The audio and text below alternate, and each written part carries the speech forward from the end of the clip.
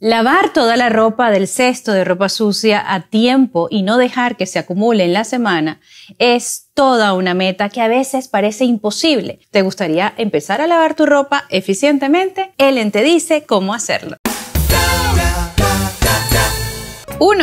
Define los días en los que dedicarás parte de tu tiempo para lavar.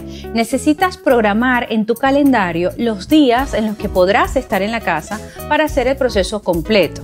Recuerda que no es solo lavar, es clasificar, colocar y sacar cada carga de la lavadora o de la secadora, doblar o colgar cada prenda.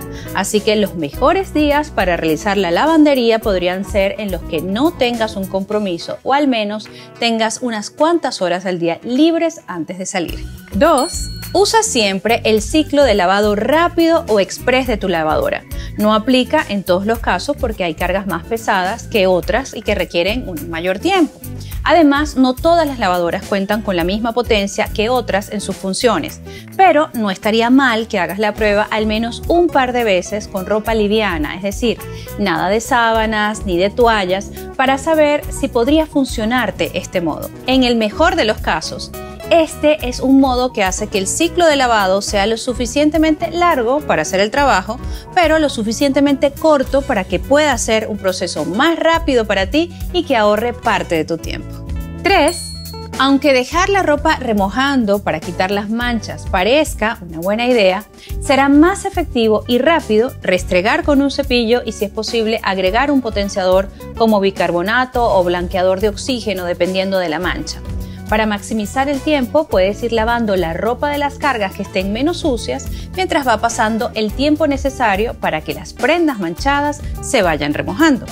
Cuando hayas lavado varias cargas con ropa de sucio normal, entonces puedes proceder a lavar las cargas que están más sucias o más complicadas.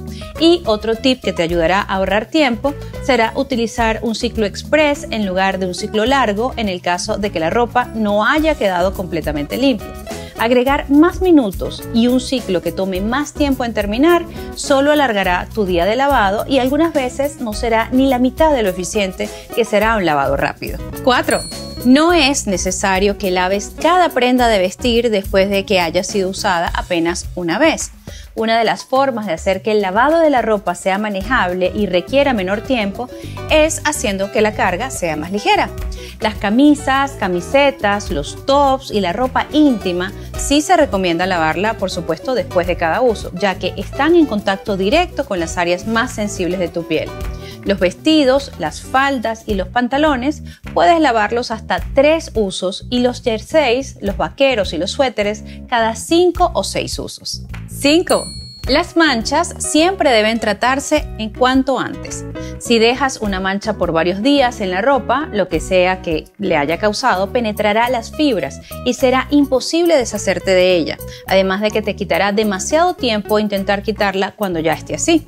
No necesariamente debes preparar una carga en la lavadora para las prendas manchadas en cuanto las veas, simplemente aplica un poco de jabón líquido o jabón para la ropa frótalo sobre la mancha con un cepillo de cerdas suaves, enjuaga y esto podrá detener el proceso de manchado por un tiempo.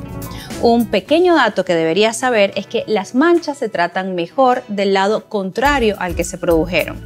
Y por último, cuando ya estés lavando, podrás terminar de liberarte de esas manchas con la ayuda de tu lavadora en tu carga de ropa normal.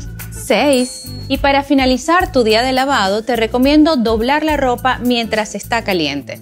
Doblar las prendas en cuanto las saques de la secadora y dejarlas directamente en las habitaciones que corresponden te hará sentir la emoción de que ya estás a punto de terminar tu día de lavado y además te animará a completar esa meta.